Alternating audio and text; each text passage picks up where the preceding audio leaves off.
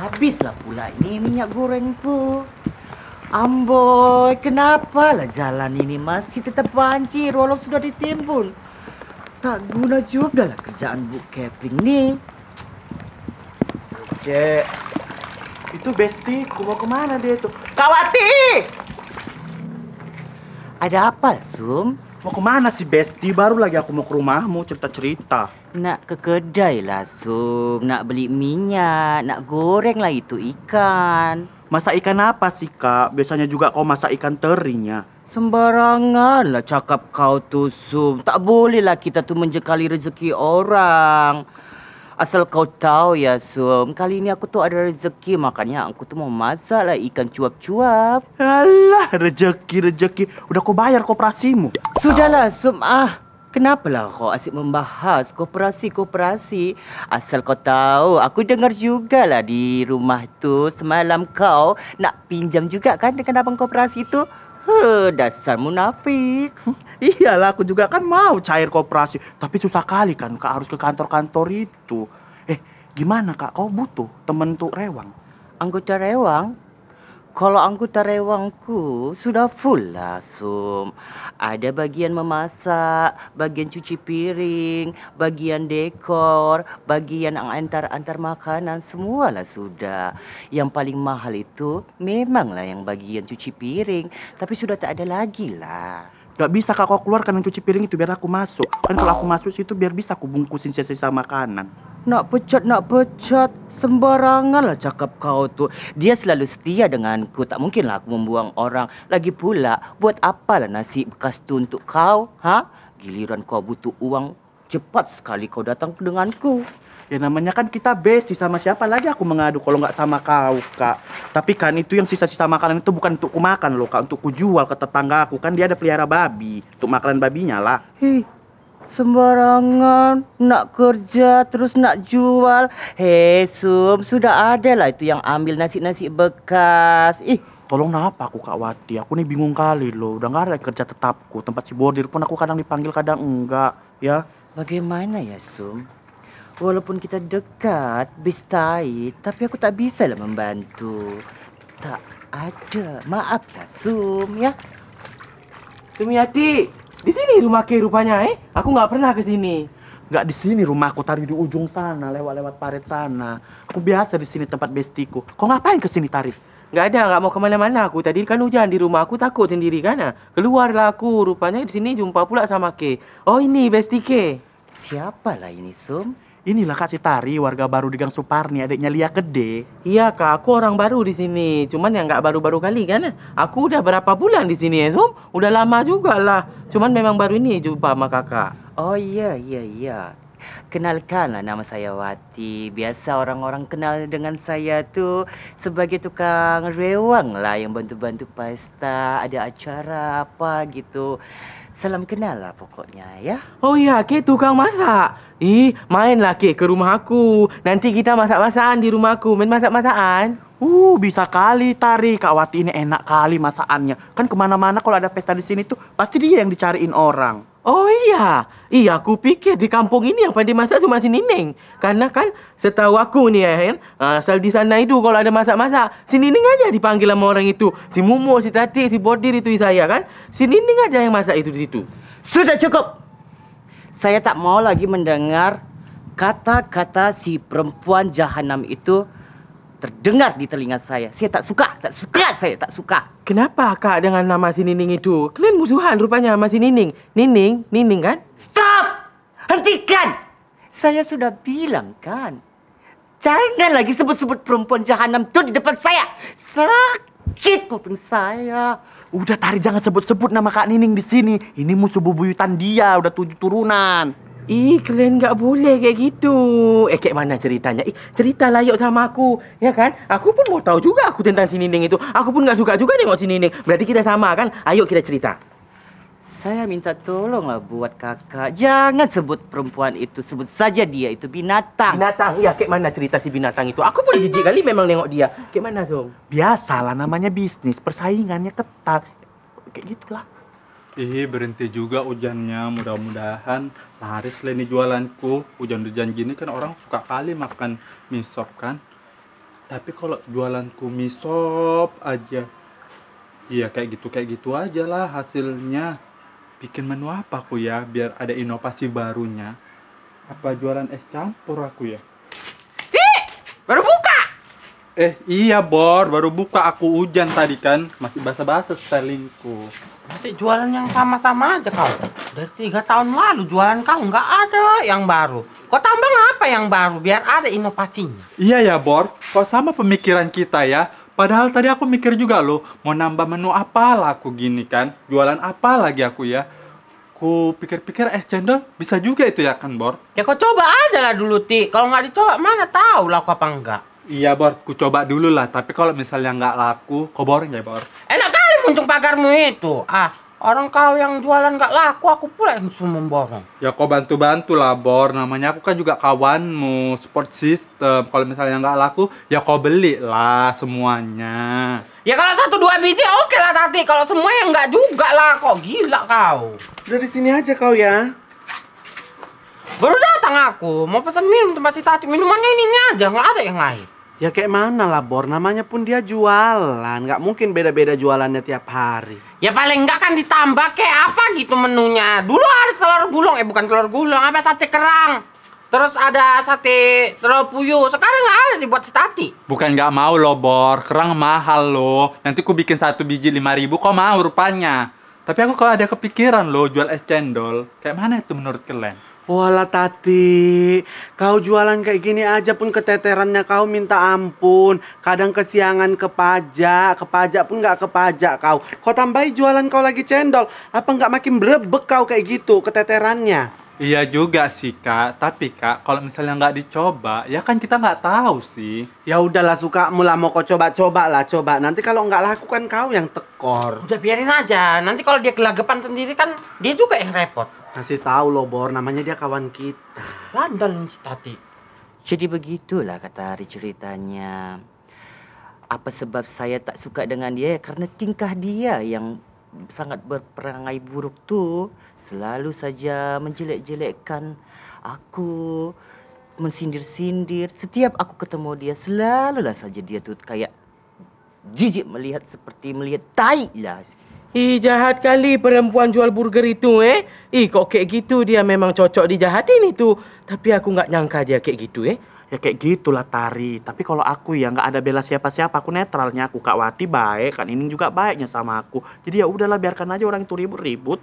Eh, Ke nggak boleh kayak gitu. Ini kan Kak Wati nih kan kawan Ke. Ha, sekarang Kak Wati kawan aku. Berarti kita semua sekarang bestie bertiga. Kalau Kak Wati dijahatin, kita harus bela Kak Wati. Ke nggak boleh kayak gitu ya kan? Sudahlah, sudahlah. Tak usah lagi membahas wanita itu. Sakit telingaku mendengarnya. Udahlah, capek.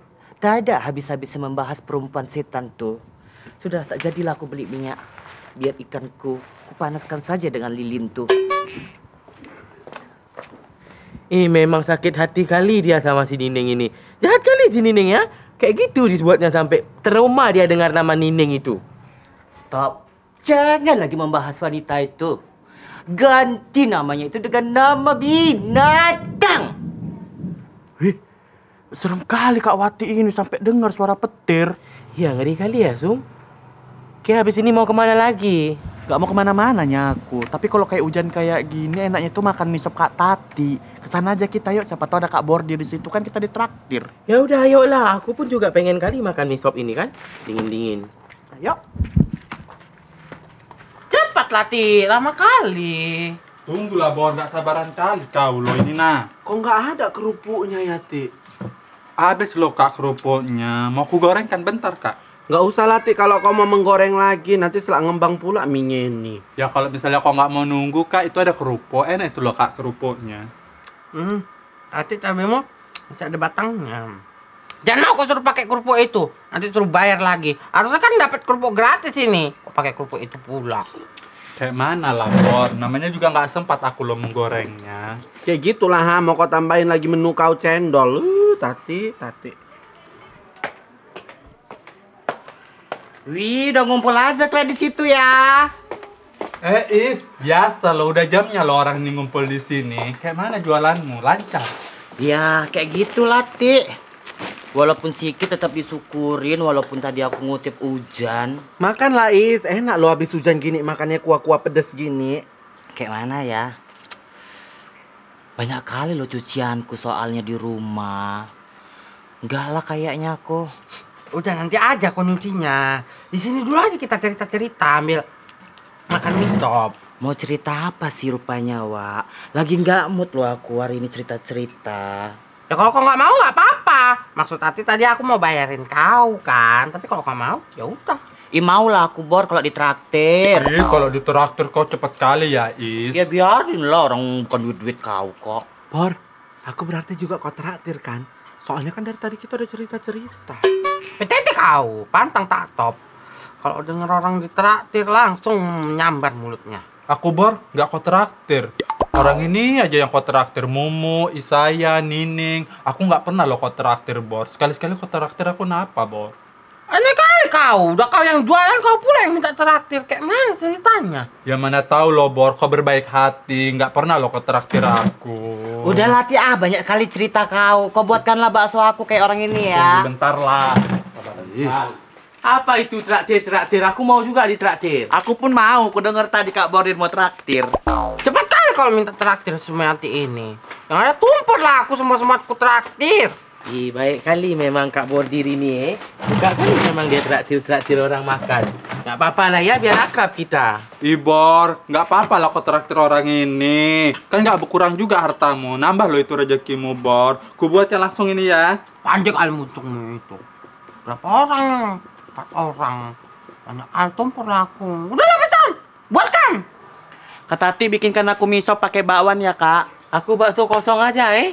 Eh Tik, Tik, aku nggak jadi misapnya yang kayak si Bordir sama Kak Mumu lah. Apa namanya? Bakso kosong aja kayak punya si Tari ya. Ih, kayak ikut-ikutan aja sama aku. Tapi nggak apa-apa lah, biar sama kita kan? Oh ya udah bentar ku buatkan ya. Eh, Mumu, masa aku dengar-dengar cerita katanya kan? Si Nining katanya musuhan sama si Kikiwati itu. Iya. Kok bisa ke situ pula lah pertanyaan kau tari ada aja. Entah si Tari ini kok bisa ke situ pula pertanyaan kau, bukan urusan kau juga nya itu. Kenapa pula kayak gitu? Rupanya aku salah kalau aku tanya itu, ha? Salah aku Zoom kalau aku tanya kayak gitu. Nggak salah sih kalau nanya. Iya si Nining itu bermusuhan sama si Wati itu. Tujuh turunan, musuh bebuyutan itu dahan. Udah kau dengar kan tari, itu udah nggak rahasia umum lagi di sini. Tapi kok bisa kayak gitu eh? Si Nining itu Padahal si Kak Wati itu baik-baik aja, cakapnya pun lembut. Ha, mendayu-dayu dia kalau ngomong. Kok bisa si Nining itu jahat sama si Kiki Wati itu? Gini loh Tari, orang itu tuh berantemnya gara-gara rewang masakan, rebutan, jobnya siapa, punya siapa, nggak terima lah jadi begado. Ditambah lagi si Wati ini suka memfitnah si Nining. Pernah difitnahnya si Nining itu jadi pelakor, terus dibilangnya pula itu anaknya si Kestel itu, anaknya si Nining, dibilangnya nggak mirip sama dia, nggak mirip sama mendiang bapaknya, katanya anak haram. Makanya orang itu sering begado. Ih, ih, ih, ih. Kayak gitu rupanya si Kiki Wati itu. Ih, tadi dia cakap sama aku gak kayak gitu loh. Katanya tadi dia yang tersakiti, dia yang terjolimi katanya. Kok kayak gitu dia ya? Iya lo Tari, kau kan baru pertama kali jumpa sama dia. Jadi kau tengok baik aja lah dia. Nyata tuh mau bayarin satu orang, dua orang kok jadi empat orang pula ini. Tumpur betul kalau kayak gini ceritanya. Lari aja lah aku ah. Kalau udahlah nggak usah bahas-bahas ke situ-situ lah. Nanti apa yang kita sampaikan terdengar si orang-orang itu nanti yang beda lagi, tambah-tambahan apa. Udahlah nggak usah dibahas-bahas lah. Iya bener itu kakmu yang kau bilang itu. Gak usah bahas-bahas orang itu lah. Nanti aneh-aneh pula berantem lagi pula orang itu. Eh jangan banyak-banyak kali, tapi hati ini pedas. Nanti sakit perut kalian ke aku nih. Sakit perut aku, pulang dulu bentar ya. Sabira. Loh, jadi ini siapa yang bayar? Bordir! Loh, Bor. Jadi kayak mana nih yang bayar misopnya? Siapa? Jadi aku yang bayar. Nyesel pula lah aku tadi ditawarin sama dia. Ah, tau gitu tadi aku nggak usah lah makan misop. Ah, jadinya bayar nih kan. Eh, Bor. Oi saya jangan pergi kau ya. Kalau nggak kau bayar, ku panah kau ya. Ah, aku keluarkan senjataku, senjata minyak. Tari kayak mana kita ini? Udah, kayak tunggu aja nanti momen yang pas baru kita pergi. Kayak habiskan aja dulu itu, sayang kali kan? Sial kali aku lah hari ini. Aturannya duit 10 ribu bisa aku belikan sabun. Jadinya untuk bayar misop tati. Hmm. Kesel aku makan di sini. Apa pun mampir-mampir di sini aku. Nanti uang misopku daripada kau panah pula nanti tembus kota otakku nggak bisa aku berladang lagi nah ini 15.000 ribu pulang aku Ah, kayak gini kan enak, terbayar dia. Inilah misop aku. Selera makan aku jadinya. Kau habisin lah itu sum. Lumayan dua. Tarik, kita lari sekarang aja. Kalian ya, ku tengok ini nih. Kalau lari kalian mati kalian. Mana mungkin kami lari. Lucu kali Kak Tati ini ya kan. Ada kode kami mana Ada lari kami. enak, you know. Aduh jatuh pula payungku ini Sum. Payungmu mana? Udah kau pegang. Nggak mungkin kami nggak bayar ya kan Sum? Satu, dua, tiga. Oh, lari kalian ya. Hah?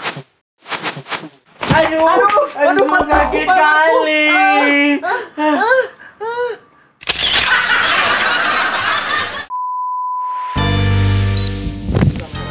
Udah ada domba pun udah berantem aja dua itu. Jadi pertamanya apa lupa aku. ayah yo and action Belum. kan makan Apa tadi awalnya? Ih bot, aku nggak kontraktir bot. Masa orang ini aja kalau nggak si Mumu, si saya, si Nining itu aja kontraktir. Aku nggak pernah kalau kau lah habis napas. Aja jangan buru-buru. Kenapa?